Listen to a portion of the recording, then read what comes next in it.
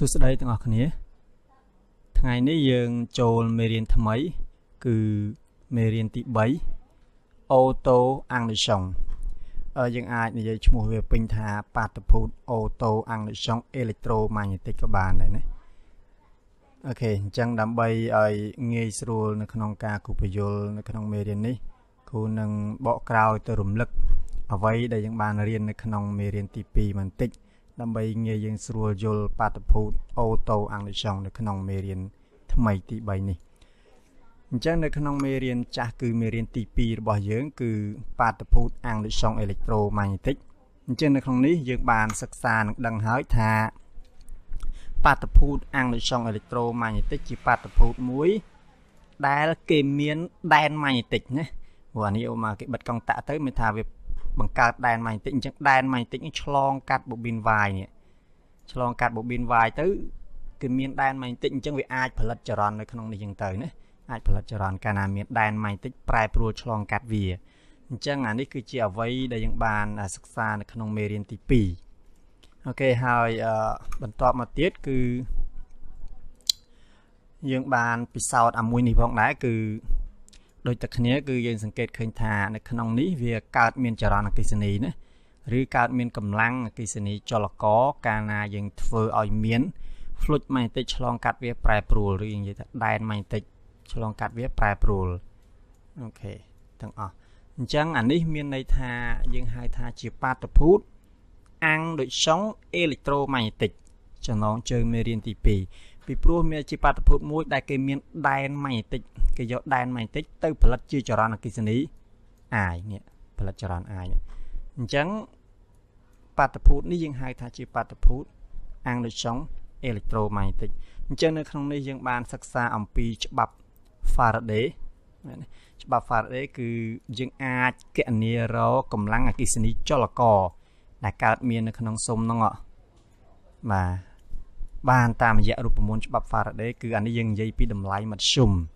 គឺ E ស្មើដល់ n អឺ delta phi លើ delta t មានន័យថាអ្វីដែលគេរកឃើញគឺថាកម្លាំងអគ្គិសនីចលករឬក៏តង់សុងដែលកើតមាននៅចុងខ្សែទាំងពីរនោះឯងកាលណាមានបំរែបំរួល fluid magnetic ក្នុងមួយຂະຫນາດពេលណាអានេះយើងនិយាយអំពីតម្លៃខណៈអត់សំដៅ តម្លៃមធ្យមហើយនេះតម្លៃខណៈបាទយើងទៅសេក្រោមតម្រង់ជា derivative អូខេអញ្ចឹងនេះគឺជាបាតុភូត Anderson electromagnetic អញ្ចឹងយើងត្រឡប់មើលមកអ្វីដែលជាមេរៀនទី3របស់យើង គឺបាតុភូត auto Anderson អញ្ចឹងអានេះបើទាំងអស់គ្នានិយាយនេះពិនិត្យមើលពាក្យនេះ Anderson អាចពលិតទៅអាំងលីសុងអេឡិត្រូម៉ាញេទិកក៏បាន ប៉ុន្តែទាំងអស់គ្នាប្លែកត្រង់ពាក្យថាអូតូនៅពីមុខឃើញទេអឺពាក្យថាអូតូនេះទាំងអស់គ្នាគិតដូចជាពាក្យថាអូតូម៉ាទិកមានន័យថាម៉េចទៅអូតូម៉ាទិកមានន័យថាដូចជាវាស្វ័យប្រវត្តិវាដំណើរការដោយខ្លួនឯងមែនទេយើងច្រើនតែនិយាយពាក្យថាអូស្អីមួយវាវាអូតូម៉ាទិកវាស្វ័យប្រវត្តិដោយខ្លួនឯងអញ្ចឹងន័យនៅក្នុងនេះគឺគេចង់មានន័យអញ្ចឹងណាគឺគេចង់និយាយថាបាតុភូតអាំងដោយចុងអេឡិត្រូម៉ាញេទិកដែលកើតឡើងដោយខ្លួនឯងអូតូនេះ ពាក្យអូតូអូខេអញ្ចឹងយើងនឹងបន្តចំណុចនីមួយៗនៅក្នុងមេរៀននេះអញ្ចឹងចំពោះចំណុចទី1យើងនិយាយទៅលើអំពើទៅវិញទៅមករវាងអាំងនិងចុងអញ្ចឹងយើងមានពិសោធន៍ដូចនៅក្នុងរូបនេះ គឺយើងមានអានេះយើងហៅថាបូប៊ីនទី1អានេះបូប៊ីនទី2ហើយនេះគឺលោហៈអានេះនេះលោហៈអញ្ចឹងទៅ គេមានរុំបូប៊ីនទី1និងបូប៊ីនទី2នៅនៅជុំវិញនៅលើលើដូចរូបនេះឯងហើយអាបូប៊ីនទី2នេះគេមានភ្ជាប់អានេះ resistance R ណាទាំងអស់គ្នា resistance អញ្ចឹងបើយើងពិនិត្យមើលសៀកខ្វីបិទនៃបូប៊ីនទី2សៀកខ្វីនេះអត់មានប្រភពចរន្តអគ្គិសនីទេប៉ុន្តែបើយើងមើលនៅក្នុងសៀកខ្វីអឺបូប៊ីនទី1 អញ្ចឹងយើងមានជានិតាអាចជាថ្មពិលឬអាគុយអញ្ចឹងទៅហើយនេះគឺកុងតាក់នេះកុងតាក់ S អញ្ចឹងការពិសោធន៍គឺថានៅពេលដែលគេចាប់ផ្ដើមបិទកុងតាក់នេះពេលដែលគេចាប់ផ្ដើមបិទកុងតាក់ហ្នឹងគឺគេសង្កេតឃើញនៅក្នុងបូប៊ីនទី2នេះវាកើតមានចរន្តអគ្គិសនីណាកើតមានចរន្តអគ្គិសនីឧទាហរណ៍ក្នុងកុងតាក់បិទកុងតាក់នៃបូប៊ីនទី1កើតមានចរន្តអគ្គិសនីអាអញ្ចឹងទៅ អញ្ចឹងកាលណាគេបិទកុងតាក់អ្វីដែលគេសង្កេតឃើញគឺនៅក្នុងបូប៊ីនទី2នេះគឺវាមានចរន្តអគ្គិសនីដែរប៉ុន្តែចរន្តអគ្គិសនីចរន្តអគ្គិសនីដែលកើតមាននៅក្នុងបូប៊ីនទី2នេះបើយើងគិតតាមច្បាប់លិនគឺថាចរន្តនេះឯងវាប្រឆាំងពីអចរន្តដើមរបស់វាវាផ្ទុយពីចរន្តដើមអញ្ចឹងអានេះយើងហៅថាជាអំពើទៅវិញទៅមករវាងអាំងលើសុងអានេះអត់មានស្អីសោះគ្រាន់តែគេបិទកុងតាក់ អានៅនៅបប៊ីនទី1នេះអានេះកើតមានចរន្តអគ្គិសនីអញ្ចឹងអានេះវាស្តៀងនឹងពិសោធន៍នៅក្នុងមេរៀនទី2យ៉ាងដែរมันមានអីប្លែកប្រមាណទេតែនៅក្នុងនេះគ្រូគ្រាន់តែចង់បញ្ជាក់បន្ថែមនិងបង្ហាញអ្វីថ្មីតកតងទៅនឹងការបំរើបំរាស់នៃនៃអានេះអំពើទៅវិញទៅមករវាងអង្គចុងនេះអញ្ចឹងអានេះបើសិនជាយើងនិយាយពីក្នុងវិស័យវិទ្យាសាស្ត្រគឺតាមរយៈទ្រឹស្ដីនេះគេអាចផលិតទៅជាឧបករណ៍វិទ្យាសាស្ត្រមួយចំនួនដែលមានសារៈប្រយោជន៍ នៅក្នុងការប្រើប្រាស់ប្រចាំថ្ងៃក៏ឧទាហរណ៍ថាយើងមើលមកអឺវីដេអូនេះតិចសិនមុននឹងគ្រូលើកឧទាហរណ៍ផ្សេងទៀតណាអូខេនៅក្នុងនេះគឺយើងមានដូចមិញមកគ្រាន់តែយើងអត់មានអឺស្នូលដែកអីមិនបាច់ដាក់ស្នូលដែកនឹងក្បានយើងដាក់វាឲ្យគៀកគ្នាទៅយើងអាចពិនិត្យឃើញហើយស្នូលដែកនោះយើងដាក់កាលណាដាក់ឆ្ងាយដើម្បីឲ្យវាមានប្រតិកម្មដើម្បីឲ្យវាខ្លាំងយើងទៅប្រើស្នូលដែក ប៉ុន្តែក្នុងនេះយើងនឹងដាក់គៀកអញ្ចឹងបាច់ប្រើស្នូលដែកក៏បានអញ្ចឹងអស់គិតថាអានេះដូចជាបូប៊ីនទី2ណាបូប៊ីនទី2មិញនោះហើយចុងវាយើងភ្ជាប់មកជាមួយនឹងអានោះគេដាក់ជាមួយនឹង resistance តែអានេះអត់ទេយើងយើងប្រើជាមួយនឹងអំពូលវិញអំពូលនេះហៅថាប្រភេទអំពូល LED ណា LED បាទអំពូល LED នេះគឺវាស៊ីភ្លើងតិចមានថាវាងាយបង្ហាញវត្តមាននៃចរន្តអគ្គិសនីហើយអានេះគឺដូចបូប៊ីនទី1អញ្ចឹងណា អញ្ចឹងនេះនេះទៅឲ្យឃើញបូប៊ីននៅក្នុងនេះគឺថតយ៉ាងនេះតិចបូប៊ីននៅក្នុងទៅអានេះកុងតាក់អញ្ចឹងគេកាច់កុងតាក់រួចទៅហើយណាប៉ុន្តែក្នុងនេះវាផលិតជាចរន្តឆ្លាស់ដើម្បីបង្កើតដែនម៉ាញ់ទិកជុំវិញបូប៊ីនហ្នឹងបង្កើតដែនម៉ាញ់ទិកជុំវិញបូប៊ីនហ្នឹងអញ្ចឹងគ្រូនឹងយកអាយកអាអានេះយកបូប៊ីនហ្នឹងមកដាក់លើលើអាហ្នឹងទាំងអស់គ្នាចាំមើលអំពូលនេះតើវាយ៉ាងម៉េចណាយើងមើលទាំងអស់គ្នា ហឹមគូដាក់លើហឹមគេដាក់ទៅវាភ្លឺហ៎នេះនេះនេះអញ្ចឹងអត់មានអីសោះគ្រាន់ដាក់វាភ្លឺអញ្ចឹងទាំងអស់ឲ្យយល់បាតុភូតដូចមិញអញ្ចឹងគឺមានទ្រឹស្ដីនេះគឺយើងអាចអនុវត្តវាបានអញ្ចឹងដើម្បីផលិតនៅចរន្តអគ្គិសនីយើងយកមកដាក់អានេះវាមានដែនម៉ាញ់ទិកប្រែប្រួលដល់បូប៊ីនមួយនេះមកដាក់នៅក្នុងអាដែនម៉ាញ់ទិកប្រែប្រួលទៅវាផលិតឲ្យមានចរន្តតាមរូបមន្តច្បាប់ Faraday ណាហើយអានេះឯងគឺ ជាអ្វីដែលគ្រូបង្ហាញអំពីអំពើទៅវិញទៅមករវាងអង្គនិសុងនឹងឯង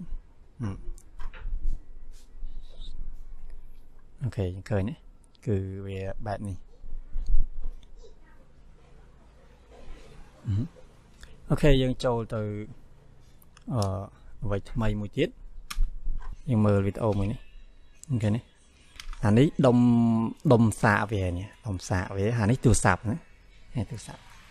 អញ្ចឹងយើងមើលមកវាយ៉ាងម៉េចទៀត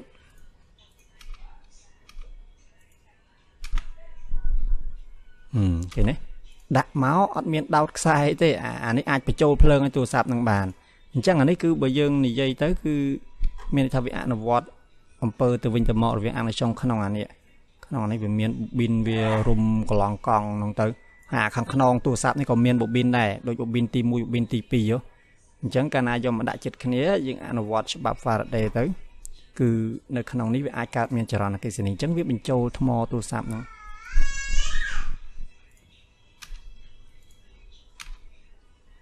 ដាក់ណានេះក៏យកមកដាក់វាចូលថ្មអត់មានដោតដូចដោតអីទេនេះអញ្ចឹងអានេះបើសិនបើមើលរូបនេះងាយស្រួលយល់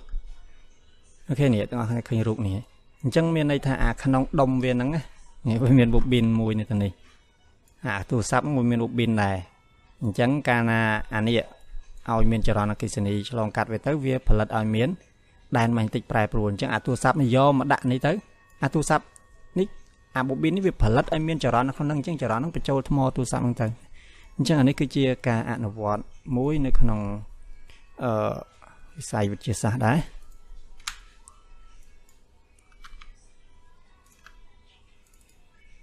យើងមើលអានេះអូខេអានេះដដែលនឹងឯងប៉ុន្តែគាត់ណាគេគូសអញ្ចេះនេះបុបិនទី1នេះប៊ីនទី2នេះដាក់ទៅវាមានបំរែបំរួលដែនបន្តិចវាអាចផលិតចរន្តនៅក្នុងនេះឥឡូវយើងចូលមកការពិសោធន៍អំពីបាតុភូតអូតូអាំងសុងអូតូអាំងសុងនេះថាមានន័យថាវាបង្កើតចរន្តបង្កើតដែនដោយស្វ័យប្រវត្តិអញ្ចឹងយើងមើលនៅក្នុងនេះគេរៀបចំការពិសោធន៍បែបនេះ គឺយើងមានអំពូល2អំពូល L1 និងអំពូល L2 អំពូលទាំងពីរនេះអំពូលទី1តភ្ជាប់មកជាមួយនឹងបូប៊ីននេះបូប៊ីនរូបអញ្ចេះបូប៊ីនហើយអំពូលទី2តភ្ជាប់មកជាមួយនឹង resistance បង្គំសៀកខ្វីទាំងអស់ហ្នឹងឯងយើងភ្ជាប់មកជាមួយនឹងចនេតានេះភ្ជាប់មួយចនេតាប្រភពផ្ដល់ចរន្តអគ្គិសនីតាមរយៈកុងតាក់អញ្ចឹងនៅក្នុងនេះដំណើរការពិសោធន៍គឺបែបនេះ នៅពេលដែលគេបិទកុងតាក់អញ្ចេះនៅពេលដែលគេបិទកុងតាក់អញ្ចឹងអ្វីដែលគេសង្កេតឃើញគឺ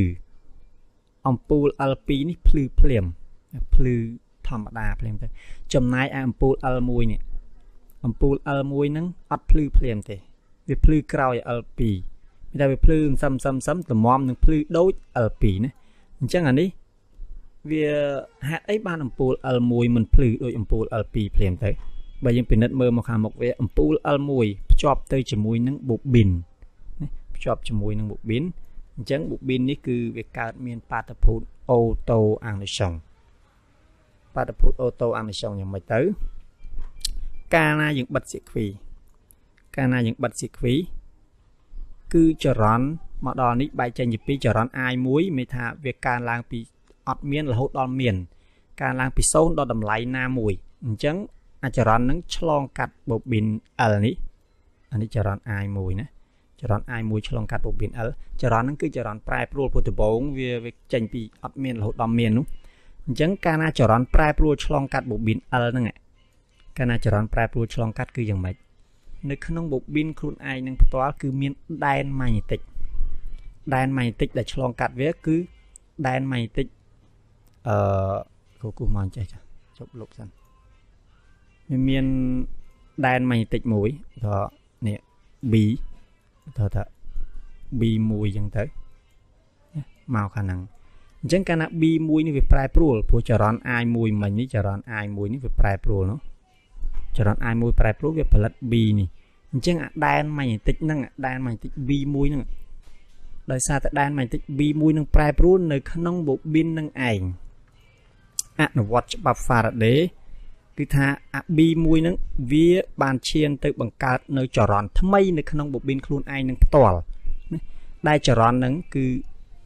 ច្បាប់លិននោះចរន្តដែលកើតឡើងគឺប្រឆាំងនឹងបុព្វហេតុដែលផ្ដល់កំណើតវាអញ្ចឹងនៅក្នុងបប៊ីននេះវាកើតមានចរន្តថ្មីមួយទៀតគឺចរន្ត I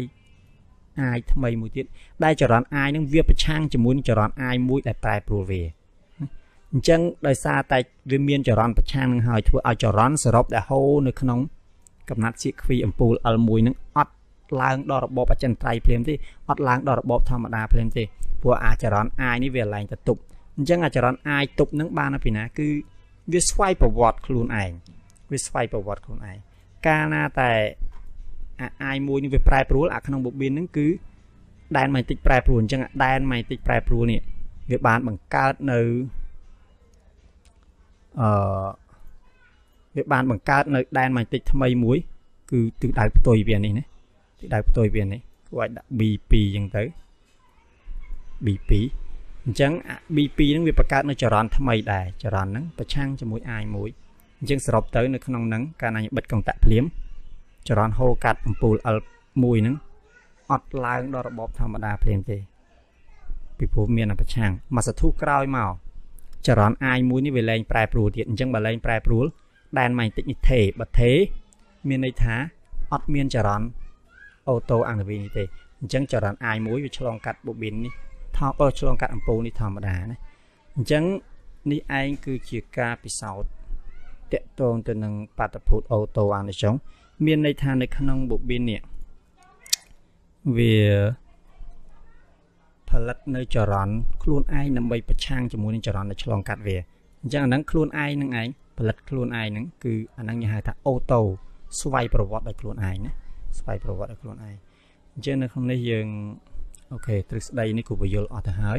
អញ្ចឹងយើងមើលតកតងទៅនឹងការពិសោធន៍អាហ្នឹងអានេះគ្រូបានធ្វើពិសោធន៍ដែរអូខេនេះការពិសោធន៍មិញនេះឯងអញ្ចឹងអានេះគឺយើងមាននេះចនិតានេះចនិតាហើយនេះគឺកងតៈណាកងតៈហើយ បែកមកពីអញ្ចឹងអានេះគឺបុប៊ីនណាបុប៊ីនបុប៊ីនភ្ជាប់មកអំពូលពូលនេះអំពូល L1 ណាពូល L1 អានេះអត់អីអំពូលគ្រូគាត់ដាក់លេខខុសប៉ុន្តែមិនអីទេគឺអាហ្នឹងយើងយើងថាវា L1 ចុះហើយអាផ្នែកមួយទៀតគឺវាភ្ជាប់មកជាមួយនឹង resistance ហើយភ្ជាប់មួយអំពូលនេះអញ្ចឹងទាំងអស់គ្នាចាំមើលនៅពេលដែលគ្រូសកត់កុងតាក់នេះចុះថាភ្ជាប់ sequence ទៅជា sequence បិទយើងចាំមើលអំពូលទាំងពីរនេះតើវាភ្លឺដូចគ្នាអត់ អូខេតោះយើងគ្រូចុចមើលអំពូលឃើញទេអញ្ចឹងកាលណាចុចទាំងអស់គ្នាសង្កេតឲ្យមែនតើអានេះភ្លឺមុនបន្ទាប់មកនេះភ្លឺក្រោយមានន័យថានៅក្នុង sequence ដែលមាន bobin នេះវាអាឡែងកើតមានបាតុភូតអូតូអានិសងវាផលិតនៅចរន្តខ្លួនឯងដើម្បីប្រឆាំងនឹងចរន្តឆ្លងកាត់វាអញ្ចឹងធ្វើឲ្យចរន្តសរុបដែលឆ្លងកាត់ sequence នេះគឺមិនដល់របបធម្មតាព្រាមទេអញ្ចឹងมันភ្លឺក្រោយ យើងមើលម្ដងទៀតគ្រូចុចទៀតគេនេះអានោះវាភ្លឺមុនហើយបានអានេះភ្លឺក្រោយ